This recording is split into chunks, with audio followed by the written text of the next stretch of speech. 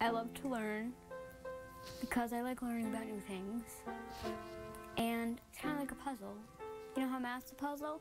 It's like my life is also a puzzle. There's some hard parts, but you can find a way to put it in.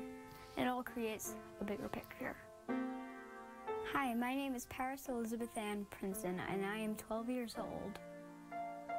I think of the future a lot, what I'm going to do in life, and play piano. I like to do a bunch of crafts, and hmm, I like to be with my family. I love it when we're all home together.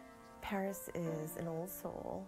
Um, she loves. She gives the best advice. You could go to her about anything, and she'll give you her opinion. She uh, brings the family together. It's, she just. She's so much fun. She really is. She's always, always smiling. Always, just always upbeat. When I was 18 months, my mom found a lump in my leg, so she went to Boston Children's, and it ended up being neuroblastoma. Uh, she was stage four. I've seen the scans. She had to have had well over 200 tumors. She was covered head to toe. As a parent, um, it's your job to fix things. And uh, when she was diagnosed, I couldn't fix it. I couldn't put a band-aid on it. Um, Since I was younger, I didn't know why they would poke me. I didn't understand. They did a full body radiation. They said I wouldn't make it, but I ended up making it. She was doing well. We ended up five years out, and we heard them for the first time say cure. Uh, everything was smooth sailing until um, she went in for a routine check in October of 2015. So I think you kind of get comfortable. And then you get this second diagnosis, and you're like, it's everything that you dreaded. It was like your worst nightmares come true. They found something in my liver. It ended up being fine, but then they found something else in my hip. And about a week later, I found out it was osteosarcoma. She had a tumor on her left pelvic wing. So that thrust us right back into it. Almost 10 years, diagnosis to diagnosis.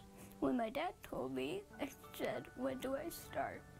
That secondary diagnosis led to 31 weeks of treatment. Between one of her cycles, she ended up getting really, really sick. It was December 23rd. We had an aunt of ours we were very close with who also diagnosed was not doing well. They had actually stopped treatment.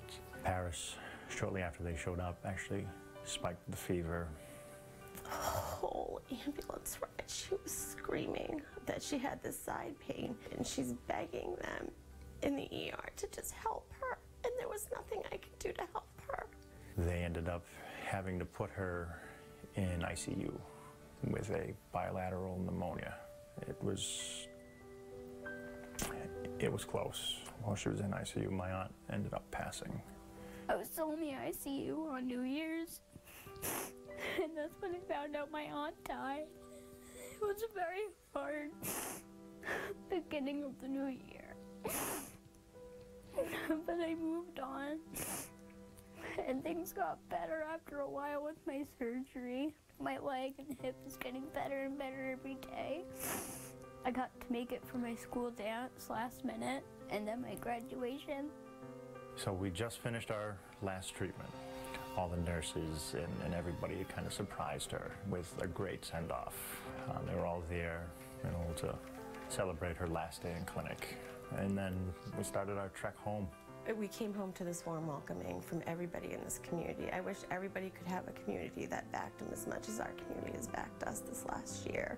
The entire route home as we came into town, they decorated with pink balloons and signs of encouragement. Welcome home, Paris. Welcome home. I didn't expect the whole entire town. And I didn't expect pink balloons to be all over town and everything. It was really nice to see everyone. And they ended up like parading her home, and she couldn't wait to get out and see everybody that she's missed this past year. I'm done with chemo, unless the cancer comes back again. But we don't know. We're not quite sure. It could never come back. It could come back. Who knows? But for right now, I'm done. She's impressing us every day, getting stronger, getting healthier. She wants to be, quote unquote, a normal kid. My dream is to go to Harvard Medical and either become a doctor or a nurse because I can relate to the children who are going through what I have been through. I want them to feel like they're not alone. I want them to know that there's hope. I want them to know that they can do it. Because I did.